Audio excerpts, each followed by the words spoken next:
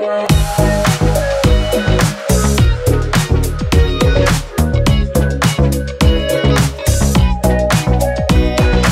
a very, very powerful documentary. It was really, very special, very moving. The Arts Council for many years been really committed to supporting children and young people's engagement with the arts as well as everybody's engagement with the arts. It was fantastic because we could go in and we could film in there and we tried to get a flavour of something of something that, that of its nature is transitory. I really wanted it to be in the Dublin Film Festival so it's fantastic that it's here.